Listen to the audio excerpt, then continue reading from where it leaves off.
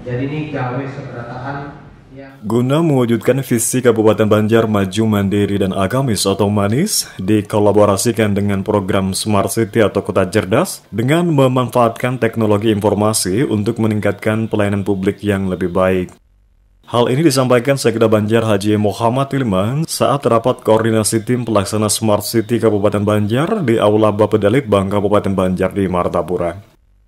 Hilman menjelaskan perkembangan Smart City di Kabupaten Banjar berkaitan dengan kebutuhan masyarakat dengan cara bekerja yang cerdas dari SKPD sesuai dengan enam dimensi Smart City, di antaranya Smart Government, Smart Society, Smart Living, Smart Economy, Smart Branding, dan Smart Environment. Dari enam dimensi tersebut mengajukan program atau inovasi unggulan dari SKPD terkait. Pelaksanaan rakor ini sebagai tindak lanjut dan evaluasi pelaksanaan Smart City di Kabupaten Banjar dari inovasi-inovasi yang sudah dilaksanakan di aplikasi Intan Baki Laun.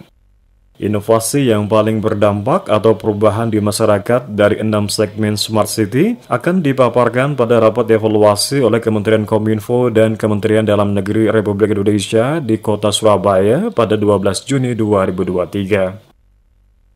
Sementara itu, Kepala Dinas Kominfo, Statistik dan Persandian Kabupaten Banjar Haji Muhammad Aidil Basit menambahkan, pihaknya memfasilitasi pengisian kuesioner dari seluruh SKPD terkait progres inovasi daerah dari masing-masing SKPD sebagai bukti dukung. Bagus Faidillah, Suara Banjar melaporkan.